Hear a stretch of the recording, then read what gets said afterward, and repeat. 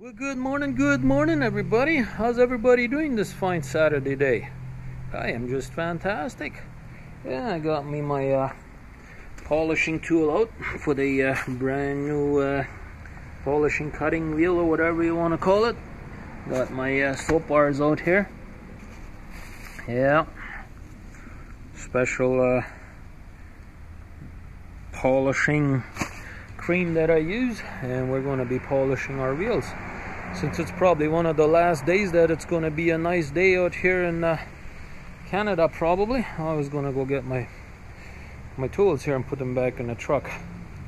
Yeah I replaced this old green one with that yellow one so we'll see how that works for uh, for polishing. Yeah always keep a little extra tools right just in case there we go so let's have a sneak peek and see what it looks like before. I know I've done this before, but you know, why not again, right? A little bit before and after, and we'll see how much we will actually get done today. Yeah, already got my safety glasses out here as well. Let's have a look at this one. Not too bad. Could be a lot better though. Anyways, let's get to polishing. And uh, I know it's to be a hard day's work but uh, I gotta do it. I gotta do it. I wanted to polish them up a while back ago already but every time I didn't have time or the truck had to go into a shop or whatever so anyways let's get to it. Alrighty guys we are done with the polishing. So let's have a look I think that looks pretty good I think it does Let's have a look at these ones in the back. Yes, that's looking pretty good. I think it is. I know it's fairly windy out here, so yeah, let's go have a look at these ones.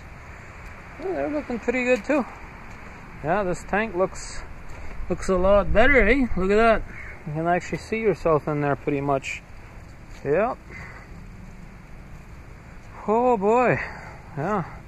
I was gonna do the moose bumper as well, but uh, my polishing machine there started acting up there the last few minutes that I was polishing, so it was starting to go to the time to the point where it was really hard to start a polish, you know. So I was just happy that I was able to finish all of this. So, anyways, we're getting ready to go to Winnipeg, so we'll. Uh, we'll go take a shower and then uh, we'll go to Winnipeg to our friend's place. So we'll see you guys later. Alrighty, guys, we are here in Winnipeg at my buddy's place, and I just have to show you this thing here. My goodness, that is looking juicy, just fantastic. Told you guys we were gonna have a barbecue this weekend. Oh yes, I did. Mm-hmm. This will be delicious. I'm sure of that. Alrighty, guys. This man has finished the beef and steak. I mean, everything is done.